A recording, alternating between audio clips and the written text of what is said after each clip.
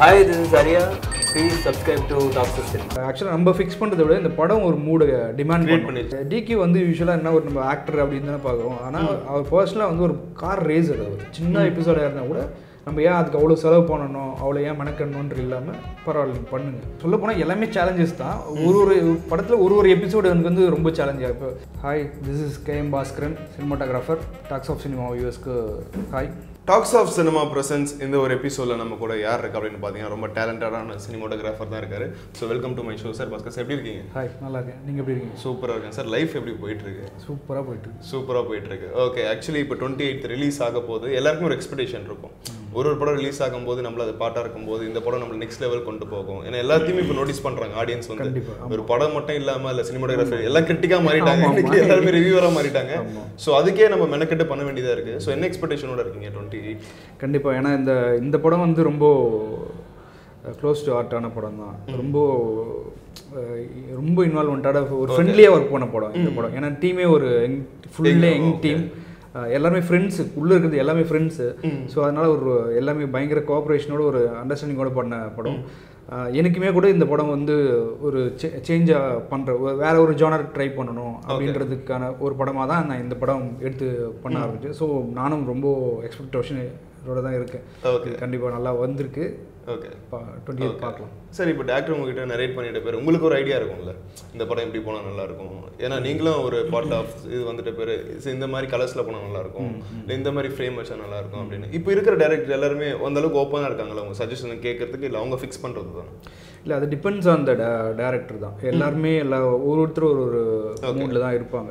So Desingh வந்து எனக்கு ரொம்ப வருஷம் ப ஃப்ரெண்டுன்றனால எங்களுக்கு அந்த கம்ஃபர்ட் ஜோன் வந்து முதல்ல இருந்தே இருந்துச்சு. அதாவது இந்த ஸ்கிரிப்ட் ஆரம்பிக்கிறதுக்கு முன்னாடி இருந்தே நாங்கள் பல வருஷமாக ஃப்ரெண்ட்ஸ் அதுக்கு முன்னாடி இருந்தே. அதுக்கு முன்னாடி இருந்து. முன்னாடி இருந்தே வந்து நான் அசிஸ்டண்ட்டாக இருக்கும்போது அவர் அசிஸ்டண்ட்டாக அப்படின்ற போதே எங்கள் ஃப்ரெண்ட்ஸ் தான்.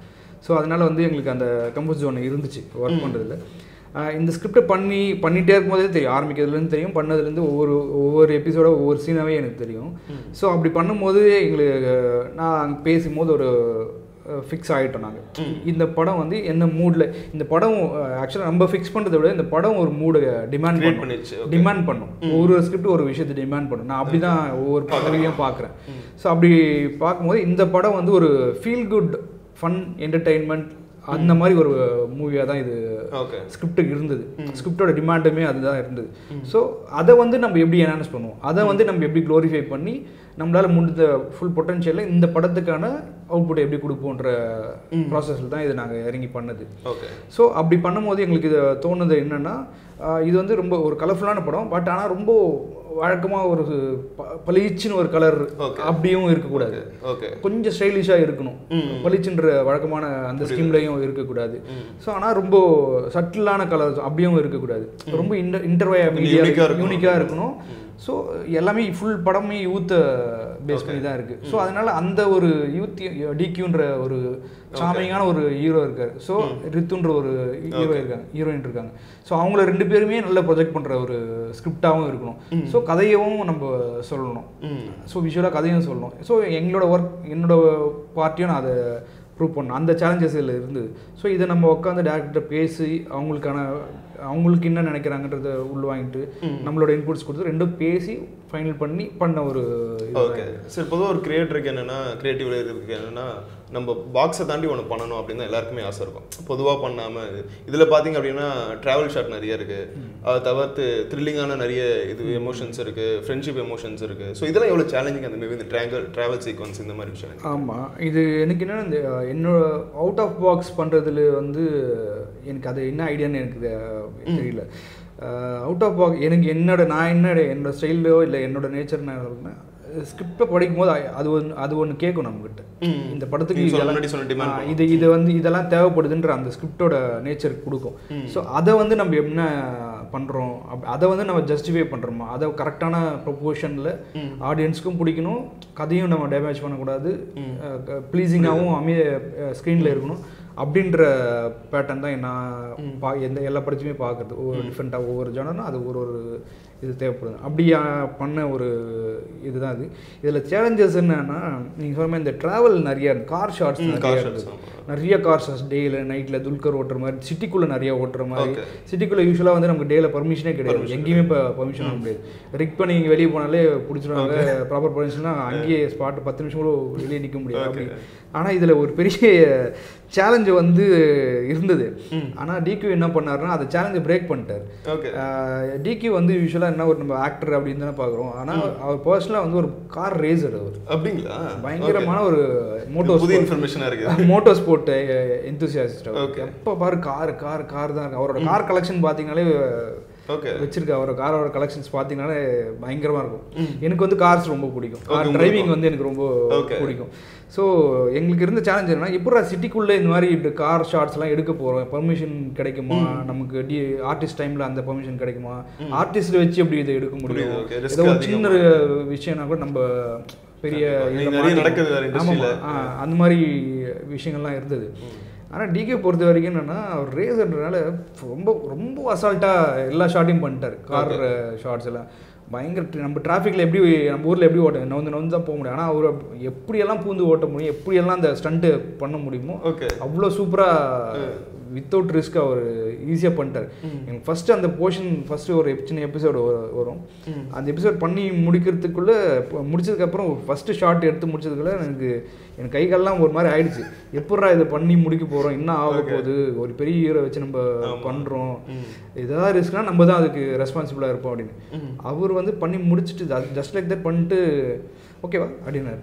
சார் என்ன சார் இப்படி பண்ணுறீங்க அப்படி ஓகேவா கேட்குறீங்க சார் செம்ம சார் நீங்கள் அப்படின்னு ஓகே ஓகே ஆ பரவாயில்ல. உங்களுக்கு ஓகே அப்படின்னு சார் நீங்கள் செம்மையாக பண்ணுறீங்க சார் நான் எக்ஸ்பெக்டே பண்ணல. எப்படி சார் இதெல்லாம் அப்படின்னாரு. சரி ஓகே ஏதோ ஒரு ஷாட் தான் இப்படி பண்ணுறாரு போல இருக்கு அப்படின்ற மாதிரி நான் நினச்சேன். அப்புறம் பார்த்தா எல்லாத்தையுமே வந்து பண்றாரு. அசால்ட்டாக அசால்ட்டாக பண்ணுறாரு இங்கே டெல்லி கோவா எல்லாமே வந்து நாங்கள் எந்த பெர்மிஷன் இல்லாமல் பப்ளிக்காகவே அப்படியே ஆமா. அவர் வந்து ரொம்ப ஈஸியா அதை கேரி பண்ணிட்டாரு.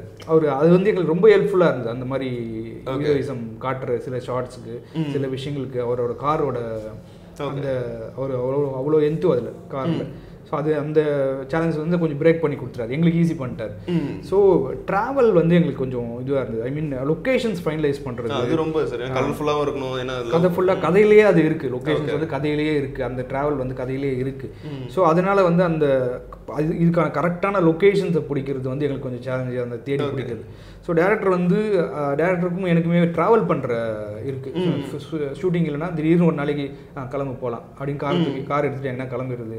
கிளம்பி போகலாம் ட்ரெயின் பிடிச்சி டெல்லிக்கு போகிறது இது போகிறது அது மாதிரி சும்மாவே கிளம்பிடுது ஸோ அந்த மாதிரி ட்ராவல் ஹேபிட் எங்களுக்கு இருக்கிறதுனால டேரக்டருக்கு என்ன இருக்குன்னா நிறைய இந்தியாவில் இருக்க நிறைய லொக்கேஷன்ஸ் பற்றி தெரியும். இங்கேருந்து எவ்வளோ ட்ராவல் பண்ணணும் இங்கேருந்து எங்கே போகணும் அவருக்கு எப்பவுமே அந்த இதில் இருந்தனால அது கொஞ்சம் அந்த அவர் கலெக்ட் பண்ணி வச்ச இன்ஃபர்மேஷன்லாம் திருப்பி நாங்கள் எடுத்து ரீகலெக்ட் பண்ணும்போது படத்துக்கு எந்த இடம்லாம் தேவைப்படுது புது புதுசாக லொக்கேஷன் தேவைப்படுதுன்னா அதை வச்சு நாங்கள் அங்கே ரீச் பண்ண ட்ரை பண்ணோம். ஸோ அதை நாங்கள் ப்ரொடியூசர்கிட்ட கொடுக்கும்போது அது ஒரு பெரிய அவங்க பண்ண ஹெல்ப் என்னன்னா அவங்க எது பெருசாக எதுவுமே ரிஜெக்ட் பண்ணல. அவங்களும் அதை புரிஞ்சுக்கிட்டாங்க. புது லொக்கேஷன்ஸ் போகணும் புது இடத்துக்கு போகணுன்னு எதுக்குமே அவங்க ரிஜெக்ட் பண்ணல. அவங்க அண்டர்ஸ்டாண்ட் பண்ணிக்கிட்டாங்க. ஓகே இது படத்துக்கு தான் அவங்க கேட்குறாங்க இந்த இடம் படத்துக்கு கேட்குறாங்க சின்ன எபிசோடாக இருந்தால் கூட நம்ம ஏன் அதுக்கு அவ்வளோ செலவு பண்ணணும்? அவ்வளோ ஏன் மெனக்கணுன்ற இல்லாமல் பரவாயில்ல நீங்கள் பண்ணுங்கள் நீங்கள் அதை செய்யுங்க அப்படின்னு அவங்க அதை பெரிய சப்போர்ட்டாக அவங்க பண்ணதுனால புது புது லொக்கேஷன்ஸ் நாங்கள் எக்ஸ்ப்ளோர் பண்ணுறதுக்கான வாய்ப்பு நிறையவே இருந்துச்சு. பூனே இன்டீரியர்ஸ் பூனே ட்ராவல் பண்ணி டூ டேஸ் போகிற மாதிரி இங்கேருந்து மேகாலயா போய் அங்கேருந்து ஃப்ளைட்டில் பிடிச்சி அங்கேருந்து ஒரு டென் ஹவர்ஸ் ட்ராவல் பண்ணுறது இங்கேருந்து பூனே போயிட்டு அங்கேருந்து ஒரு ஃபிஃப்டீன் ஹவர்ஸ் ட்ராவல் பண்ணுறது ஸோ அந்த மாதிரி நிறைய விஷயங்கள் இதில் எக்ஸ்ப்ளோர் பண்ணி எக்ஸ்ப்ளோர் பண்ணி பண்ணோம். ஸோ அது வந்து இப்போது பயங்கர ஹாப்பியாக இருக்குது நம்ம ஸ்கிரிப்டை சாட்டிஸ்ஃபை பண்ணியிருக்கோம் ஜஸ்டிஸ் கொடுத்துருக்கோம் அப்படின்றது சந்தோஷம் ஒரு. சந்தோஷம் இருக்குது ஓகே சார் இப்போ ஹீரோக்கும் ஹீரோயினுக்கும் எவ்வளோ கெமிஸ்ட்ரி முக்கியம்? அதே மாதிரி தான் ஒரு டேரக்டருக்கும் சினிமாட்டோகிராஃபருக்கும் ஒரு கெமிஸ்ட்ரியும் ஏன்னா அவர் என்ன எதிர்பார்க்குறாரு நம்ம என்ன கொடுக்குறோம்? நீங்கள் வேற சில கேமராமேனும் டேரக்டர் கண்ணாலே வேற பேசிப்பீங்கன்னு நான் கேள்விப்பட்டிருக்கேன். இண்டஸ்ட்ரியில் இது ஓகேவா இல்லை இன்னொரு டேக் பண்ண சொல்லுங்க அப்படின்னு சொல்லிட்டு. ஸோ உங்கள் ரெண்டு பேருக்குள்ள கெமிஸ்ட்ரி பற்றி சொல்லுங்க. ஆஹ் ஆம், அது நாங்களே சொல்லிக்கிட்டு சொல்லிட்டா நல்லா இருக்காது.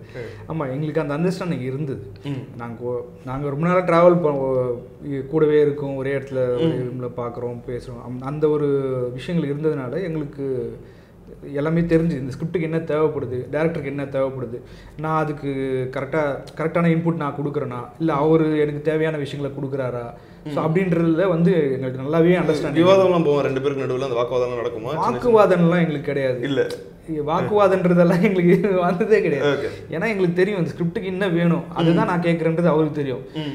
அவர் எதுக்கு இதை வேணும்னு சொல்றான்றது எனக்கு தெரியும். ஸோ அந்த நாள் Friendly-ஆ கூட ஃப்ரெண்ட்லியாக இல்லை. ஒர்க்குக்கு இது தேவைப்படுது. ஏதாவது வேற தேர்ட் பர்சன் மூலிமா ஏதாவது நடக்கல அப்படின்னா தான் நம்ம அதை அதை அதை நடத்தணும் ஃப்ரேமுக்கு நம்ம ஒர்க் பண்ணணும். அப்படின்றதுக்கு மட்டும் நாங்கள் பேசியிருக்கோம் தவிர எங்களுக்குள்ள வாக்குவாதமா அந்த மிஸ் அண்டர்ஸ்டாண்டிங் இது வரைக்கும் நடந்தது கிடையாது. இது வரைக்கும் அந்த விஷயம் நடந்தது ஓகே. சரி இப்போ ஃபிலிமோகிராஃபி உங்க பார்க்கும்போது நாலு படமே ரெண்டு படம் தான் ஆக்ஷன் த்ரில்லர் பண்ணிருக்கீங்க. அப்புறம் ரொமான்டிக் த்ரில்லர் ஏன்னா குற்றம் டுவெண்ட்டி த்ரீயா இருக்கட்டும் இல்லை பத்துன்றதுக்குள்ளே இருக்கட்டும் வள்ளினமா இருக்கட்டும் இந்த நாலு படங்கள்ல உங்களுக்கு பர்சனலாக ஒர்க் பண்ண ரொம்ப சேலஞ்சிங்காக இருந்ததுன்னா என்னன்னு அஹ், எல்லாமே சேலஞ்சஸ் தான் அதை ஒத்துக்கிறேன் எல்லாமே எனக்கு ஏன்னா எதில் நான் ஏன் எல்லாமே சேலஞ்சஸ்ன்னு சொல்கிறேன்னா எதுவுமே ஒன்று கூட சிமிலர் பேட்டர்ன் கிடையாது. தான் டோட்டல் நாலுமே வேற வேற இதில் பண்ணிருக்கீங்க. எல்லாமே வேற வேற எல்லாமே புது வேற இது ஒரு லவ் படம் இன்னொரு லவ் படம் இன்னொரு லவ் அப்படின்னு இது கிடையவே கிடையாது.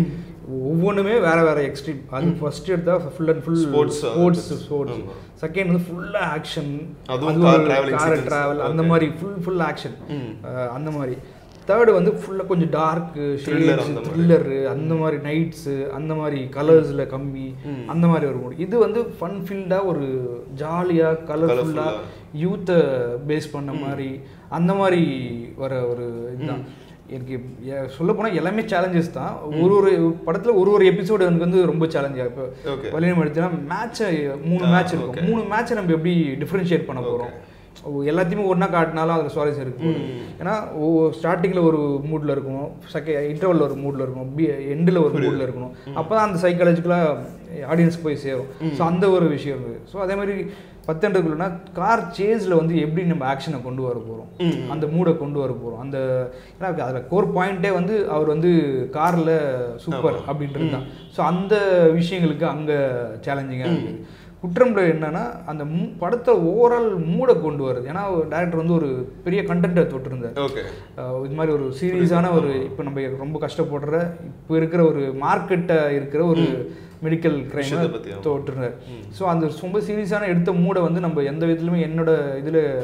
கரெக்டாக கதை சொல்லணும்னா அது அந்த மூடில் போய் ஆடியன்ஸ்க்கு இறங்காது. அது கனெக்ட் ஆகும் கனெக்ட் ஆகாது. ஸோ அந்த மூடை கொண்டு வர இதில் எனக்கு அந்த சேலஞ்சஸ் இருந்தது. ஸோ இந்த படத்தில் என்னன்னா இதுல இதில் வந்து சேலஞ்சஸ்ன்றதுக்கு வந்து இந்த லொக்கேஷன்ஸ் ஃபைனலைஸ் பண்ணி எல்லாத்தையும் இந்த கலெக்ட் கரெக்டாக எனக்கு வந்து இதை ரொம்ப கலராகவும் சொல்லக்கூடாது. அதனால நான் சட்டில் பண்ணியும் சொல்லக்கூடாது. ஒரு கொஞ்சம் இந்தியா அப்படி எட்டி பார்க்குற மாதிரி கொஞ்சம் தொட்டு அப்படி போகணும். அந்த நம்ம- நம்மளோட ப்ரொடக்ஷன் அவ்வளோ கிடையாது. ஸோ இருந்தாலுமே கொஞ்சம் அதை தொடணும். அந்த மூடுக்கு கொண்டு வரணும். அப்படின்ற சேலஞ்சு தான் இதில் இருந்தது. அந்த அந்த அந்த அப்பீ அப்பீலை வந்து நம்ம கொடுக்கணும் Okay. அப்படின்ற சேலஞ்சு இதில் இருந்தது. ஓகே சரி இப்போ நான் விஸ்காம் படிச்சதுனால என் ஃப்ரெண்ட்ஸ் எல்லாருமே நிறைய பேர் சினிமாட்டோகிராஃபராக இருக்காங்க. இப்போ எல்லாருக்குமே என்னன்னா தெளிவான பதில் இல்லாமல் தான் இருக்குது ஒரு ஒருத்தர் ஒருவன் சொல்லுவாங்க அஸ்டண்டாக சேரணும்னா இல்லடா ஒரு ஏழு எட்டு வருஷம் ஆமாண்டா அது வரைக்கும் ஃபேமிலி இது பண்ண முடியும் இப்போ ஈவெண்ட்ஸ் பண்ண ஆரம்பிக்கிறாங்க இது பண்ணுறாங்க இப்போ அவங்களுக்கு என்னன்னா இப்போ நம்ம சம்பாரிச்சிக்கிறோம். பட் நாளை பின்ன நம்மளுக்கு என்னன்னு ஒரு ஐடென்டிட்டி இருக்காமல் இருக்குமே அப்படின்னு சொல்லிட்டு இருக்காங்க. நீங்கள் அது மாதிரி படிக்கும்போது உங்களுக்கு என்ன மென்டாலிட்டிலாம் போயிட்டு இருந்தது? மைண்ட் செட் என்ன இருந்தது நான் எனக்கும் சினிமாவுக்கும் ஃபேமிலிக்கும் சம்ம சம்மந்தம் இல்லாம தான் இருந்தது.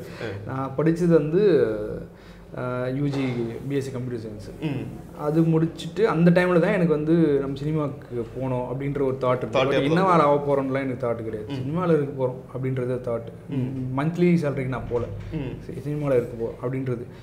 அதுக்கப்புறம் வீட்டில் ப்ரெஷர் வீட்டுக்கும் சினிமாவுக்கும் சம்மந்தம் இல்லை. டிவியில் படம் பார்க்கறதோட சரி தேட்டருக்கு கூட போனது கிடையாது. அந்த மாதிரி இது.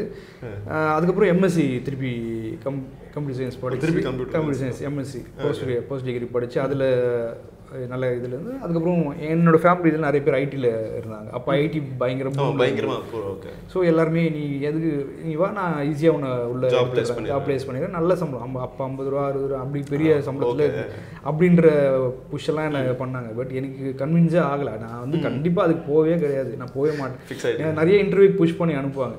நான் வந்து எப்படியும் நான் செலக்ட் ஆக மாட்டேன்ற ஒரு இது சினிமாவில் நடக்கும்ல நான் இந்த இன்டர்வியூ எப்படி செலக்ட் ஆக மாட்டேன் நான் போகிறேன் உங்களுக்காக போகிறேன் அப்படின்ற மாதிரி தான் ஒவ்வொரு இன்டர்வியூ போய் அட்டன் பண்ணிட்டு சும்மா வந்துடுவேன். ஒன்றும் நடக்காது. நடக்காதுன்னு எனக்கு தெரியும் அதனால் நானும் போயிட்டு போயிட்டு வந்துடுவேன். ஒரு பாயிண்ட்ல வந்து தெரிஞ்சிச்சு சரி இது இல்லை பண்ண.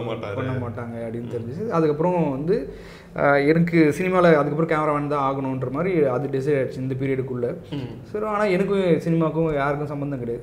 சரிங்க எனக்கும் இந்த இது- நீங்க சொன்ன மாதிரி இப்போ போய் நின்று ஏழு வருஷம் ஆகும் பத்து வருஷம் ஆகும் சான்ஸ் கேட்டு நின்று அலைஞ்சு போன்றது. சொன்ன மாதிரி நீங்க ஃபேமிலியில் யாருனா இருந்துட்டா ஓகே ஆமா. அப்படின்ற விஷயங்கள்லாம் நான் இந்த இதுக்குள்ளே ஸ்டடி பண்ணும்போது ஒரு விஷயம் எனக்கு படிச்சு இதில் டெக்னிக்கலாக நீ கற்றுக்கிட்டா இன்னும் கொஞ்சம் ஈஸியாக இருக்கும் உள்ளே போகிறதுக்கு ஸோ நீ எதுவுமே தெரியாமல் போயிருந்தீங்கன்னா நீ பத்து வருஷம் தான் வெயிட் பண்ணணும். ஏதாவது கற்றுக்கிட்டு போ. அப்போ கற்றுக்கணுன்னா என்ன பண்ணணும்னு தேடும் போது தான் இன்ஸ்டியூட் எம்ஜிஆர் ஃபிலிம் இன்ஸ்டியூட் இருக்குது அதில் இது மாதிரி கோர்சஸ் எல்லாம் பண்ணுறாங்க அங்கே போனால் நம்ம டெக்னிக்கல் கற்றுக்கலாம் அப்போ நமக்கு லிங்க்ஸ் கிடைக்கும். அதை வச்சு நம்ம உள்ளே போகலாம் அப்படின்னு தான் யாருக்கும் வீட்டுக்கிட்ட தெரியாமல் யாருக்கும் நான் ஊர்லேருந்து வந்து அப்ளிகேஷன் வாங்கி சைன் பண்ணி நானே சைன் பண்ணி அப்பா சைன் பண்ணி போட்டு. போட்டு அப்ளிகேஷன் போட்டுட்டு போயிட்டேன். சரி வந்தால் பார்த்துக்கலாம் அப்படின்னு. ஏன்னா நான் அப்ளை பண்ணும்போது அப்ளிகேஷன் வாங்கும்போதே அங்கே இருந்து அங்கே இருக்கவங்க எல்லாம் சொன்னாங்க எப்படி சார் யார்? எந்த பொலிட்டிக்கல் தெரியும்? உங்களுக்கு யார் தெரியும்? எந்த எம்எல்ஏ எம்பி தெரியும். இல்லை எவ்வளோ காசு கட்டுறதுக்கு இந்த மாதிரி அந்த மாதிரி இருந்துச்சு. எனக்கு வந்து என்னடா இது வந்த உடனே முத நாளே முத நாளே இந்த கேள்வி கேட்குறாங்களே அப்படின்ற மாதிரி இருந்துச்சு. ஆனால் எனக்கு ஏதோ ஒரு இன்ஸ்டிக் சொல்லிட்டே இல்லை நீ பண்ணு இது பண்ணு நீ அதை ட்ராவல் பண்ணு. நான் எழுதி போட்டு வந்துட்டேன். பார்த்தா எனக்கு ஒரு க ஒன் ஒன் ஆர் டூ வீக்ஸில் இன்டர்வியூ கால் வந்துடுச்சு. ஸோ அன்னைக்கு காலையில் அதுக்குள்ள அதில் ஒரு செக் என்ன வச்சாங்கன்னா இன்டர்வியூ வந்து பேரண்ட்ஸோட வரணும் அப்படின்னு செக் இருந்தது. ஸோ அப்போ அன்னைக்கு காலையில் தான் சொல்கிறேன் இன்டர்வியூ வர அன்னைக்கு காலையில் இது மாதிரி நான் போட்டேன் இது மாதிரி கால் ஃபார் வந்திருக்குன்னு. எல்லாரும் வீட்டில் ஃபுல் ஷாக் என்னடா இப்படியா? நீ ஏன்டா என்ன படிச்ச? உனக்கு எவ்வளோ சம்பளம் கொடுக்கறதுக்கு ரெடியாக இருக்க? நீ போமான்றியா? இல்லை இல்லை நான் இதுதான் போகிறேன் அங்கே அப்போ காலையில் எழுந்து கன்வின்ஸ் பண்ணி எனக்கு ஒரு சான்ஸ் கொடுங்க. ஒரே ஒரு சான்ஸ் எனக்கு கொடுங்க. நம்ம இப்போ பார்க்கலாம் இல்லை இது இந்த இந்த இன்டர்வியூவில் நான் செலக்ட் ஆகலன்னா நீங்கள் நான் அதுக்கு போயிடுறேன். போய் அட்டன் பண்ணேன். அது இன்னும் தெரியல. இன்டர்வியூவில் என்னை செலக்ட் பண்ணிட்டாங்க. அதாவது இந்தியாவிலேயே ஃபோர்டீன் சீட்ஸ் தான். அத்தனை ஐடி இன்டர்வியூக்கு போனீங்க. செலக்ட் ஆகல. இந்தியாவிலே ஃபோர்டீன் சீட்ஸ் தான். ஃபோர்டீன் சீட்டில் நான் ஒரு செலக்ட் பண்ணிட்டாங்க. ஸோ அப்போ தெரிஞ்சு ஓகே இதுதான் நம்மள கரெக்டான ரூட் இதுதான் நம்ம சூஸ் பண்ண கரெக்டாக ஸோ இதை நம்ம ப்ராப்பராக பண்ணணும் அப்படின்னு இறங்கி ட்ராவல் பண்ண விஷயம் தான் இது ஸோ இங்கே கேட்டது சொல்கிறேன் இப்போ ஃப்யூச்சரில் வரவங்களுக்கு என்ன பண்ணுறாங்க ஸோ இது என்னோட ட்ராவலாக இருக்கு. பட் உள்ளே வரணும். இங்கே சினிமா பண்ணணும் இனிமே பண்ணணும்னா நம்ம வந்து டெக்னிக்கலாக கற்றுக்குறோம் அதெல்லாம் கூட ஓகே டெக்னிக்கல் பத்திரம் கேமரா தெரியும் அப்டேட் பண்ணுறோம் அதெல்லாம் கூட ஓகே அதையும் மீறி வந்து நம்ம நம்மளோட ப நம்மள படிக்கிறது வந்து நிறைய லிட்ரேச்சர் நிறைய படிக்கணும் நிறைய கதைகள் படிக்கிறது நல்ல விஷயங்களை படித்து தெரிஞ்சுக்கிறது. அப்படி ஒன்று அப்படி பண்ணணும் இல்லை ட்ராவல் பண்ணணும். நிறைய ட்ராவல் பண்ணீங்கன்னா உங்களுக்கு நிறைய எக்ஸ்பீரியன்ஸ் கிடைக்கும். டிஃப்ரெண்ட் ஸ்கேப்ஸ் கிடைக்கும். டிஃப்ரெண்ட் பீப்புள் பார்ப்பீங்க. டிஃப்ரெண்ட் கேரக்டர்ஸ் கிடைக்கும். நம்ம சினிமா பார்க்குறதும் ட்ராவல் பண்ணுறது எல்லாம் ஒன்று தான் இப்போ நான் யூஸ்வலாக எப்படி ட்ராவல் பண்ணுறேன் எப்படி சொன்னால் நான் வந்து ஒரு விண்டோ சீட் ட்ராவலர்னு நான் என்ன சொன்னேன். ஏன்னா விண்டோவில் இப்போ பஸ்ஸில் உட்காந்தீங்கன்னா அந்த ஃப்ரேம்குள்ளே உட்காந்து வேடிக்கை பார்த்துட்டே பார்த்துட்டு இது அது மாதிரி தான் நம்ம கேமராக்குள்ளே பார்க்குறோம். இப்போ ட்ரெயினில் போனால் விண்டோவில் உட்காந்து பார்க்குறோம் ஸோ அதில் ஃப்ளைட்டில் போனால் விண்டோவில் உட்காந்து பார்க்குறது. ஸோ இதுதான் நம்மளோட லைஃபுமே கூட இதுதான். அதே தான் சினிமாலையும் நம்ம ப்ரொஜெக்ட் பண்ணுவோம் ஸோ நம்ம அப்படி ட்ராவல் பண்ணும்போது அப்படி பார்க்கும்போது தான் அந்த விஷயங்களை நம்ம ஒவ்வொன்றும் உள்ளே ஏறுச்சுன்னா நீங்கள் அது அது வந்து தான் ஸ்கிரிப்டில் வந்து உங்களுக்கு இம்ப்ளிமெண்ட் ஆகும். ஒரு டேரக்டர் வந்து அந்த கதையை சொல்கிறாங்கன்னா அந்த கதையை உங்களுக்கு எங்கேயோ பார்த்த ஏதோ ஒரு கேரக்டர் ஏதோ ஒரு லேண்ட்ஸ்கேப் ஏதோ ஒரு இடத்த தாக்கம் அது இருக்கும். அதை நம்ம இம்ப்ளிமெண்ட் பண்ணலாம். நம்ம அதுதான் லைஃபோட எக்ஸ்பீரியன்ஸ் நம்ம இடத்துல பார்த்த இடத்த நம்ம தான் எக்ஸ்பீரியன்ஸ் தான் நம்ம இது போடும் ஸோ அதுதான் என்னோட இதுதான் நான் சொல்லி உங்களோட பாயிண்ட் ஆஃப் வியூ அதுவா தான் இருக்கு. கண்டிப்பாக உங்களோட ட்ராவல் ட்ராவல் இல்லை லிட்ரேச்சர் படிங்க. ஓகே இதுதான் main thing actually okay sir கடைசி என்னன்னா வந்து இப்போ நீங்க அப்பா சைனே போட்டு நீங்க தான் அட்மிஷன் போட்டிருக்கீங்க. இதெல்லாம் தாண்டி நம்ம ஒரு இடத்துல சக்ஸஸ் ஆகும்போது ஸ்க்ரீன்ல நம்ம பேரை சினிமோட்டோகிராஃபர் கே எம் பாஸ்கர்னு பார்க்கும்போது ஒரு சந்தோஷம் ஒன்று இருக்கும். அது உள்ளுக்குள்ளேயே நிறைய இருக்கும்.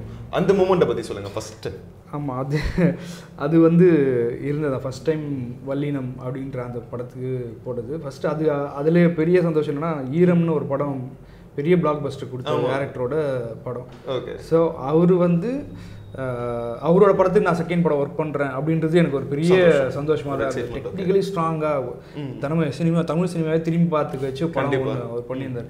ஸோ அப்படி இப்போ கிட்ட டேரக்டர் கிட்ட பண்ணுறது வந்து ஒரு பெரிய ஹாப்பியஸ்ட் மூமெண்ட் ஆச்சு. அதை கிரியேட் பண்ணி கொடுத்தது ஆக்சுவலாக மில்டன் சார் தான். அவர் தான் சொன்னார் இது மாதிரி ஒரு பையன் இருக்கான். அவனை அவனை ட்ரை பண்ணுங்க. அப்படின்னு ஸோ அதுக்கப்புறம் அதை நம்பி தான் அறிவழகன் வந்து என்னை ஷூட்டிங்க்கு கூப்பிட்டு போனேன் அதனால தெரியல எனக்கும் அறிவாளனுக்கும் இமீடியட்டாக அது ஜெல் அப்பதான் ஸோ அங்கேருந்து 23 அப்படி அதுக்கு அதுங்கேருந்து ஜானி தான் வலினம் ப்ளஸ் குற்றம். வலினம் ஃபஸ்ட் டைம் பார்க்கும்போது எனக்கு வந்து ரொம்ப எக்ஸைட்டட்னு நான் சொல்ல மாட்டேன்.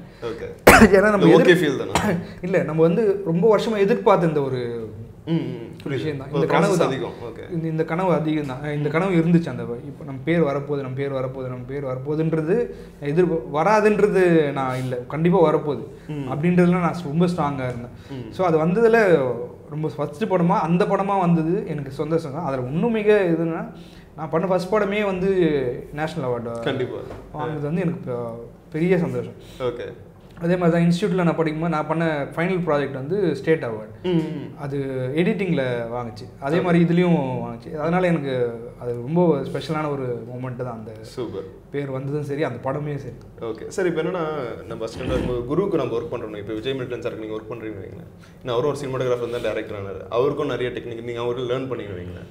அவர்கிட்ட ஒர்க் பண்ணும்போது சில விஷயங்கள்லாம் நம்ம சொல்லும்போது இல்லை அவர் இம்ப்ளிமெண்ட் பண்ணும்போது எப்படி இருக்கும் உங்களுக்குள்ள அந்த கிவன் டேக் அதை கேட்குறேன் ஆக்சுவலாக மில்டன் சார்கிட்ட யாரெல்லாம் அசிஸ்டண்ட்டாக ஒர்க் பண்ணுறாங்களோ அவங்களாம் ஏதோ லைஃப்பில் புண்ணியம் புண்ணியம் பண்ணியிருக்காங்க அர்த்தம். ஆக்சுவலாக ரொம்ப ரொம்ப நல்ல மனுஷன். நான் வந்து ரொம்ப ரொம்ப சூப்பர் சினிமாட்டோகிராஃபர் சூப்பர் டேரக்டர்னு சொல்கிறதுக்கு முன்னாடி ரொம்ப ரொம்ப நல்ல மனுஷன் அவர் ஃபர்ஸ்ட் ஆஃப் ஆல் அவர்கிட்ட அந்த இருக்கிற நல்ல மனுஷு தான் வந்து அவ- அவர் கூட நிறைய பேரை சேர்த்து நல்லவங்களை சேர்த்து வச்சிருக்கு. ஸோ அவர் வந்து சினிமாவை வந்து நீ கேமராமேன் ஆகு அப்படின்னு சொல்லி தர மாட்டார்.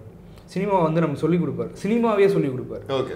கேமரா டேரக்ஷன் மொத்த process மே. மொத்த ஃபிலிம் மேக்கிங்குமே நம்மளை ட்ரெயின் பண்ணுவார். இவன் கரெக்டாக நடந்துக்கிறானா கரெக்டாக அதை அப்சர்வ் பண்ணுறானா கரெக்டாக படிக்கிறானா அப்படின்றத அவர் வாட்ச் பண்ணிட்டே இருப்பார். நமக்கு வந்து அப்டேட் பண்ணிட்டே இருப்பார். நமக்கு ஃப்ரீடம் கொடுப்பார்.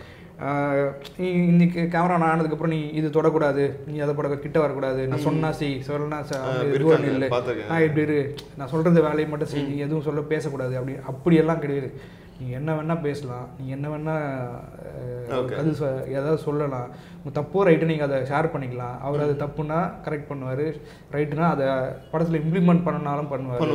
பண்ணுவாரு, ஸோ அவர் எனக்கு நான் போய் ஜாயின் பண்ண ஃபியூ டேஸ்லேயே ஃபஸ்ட்டு நாக்குமுக்கா சாங் அந்த சாங்கில் தான் நான் போய் ஒர்க் பண்ண ஆரம்பிக்கிறேன்.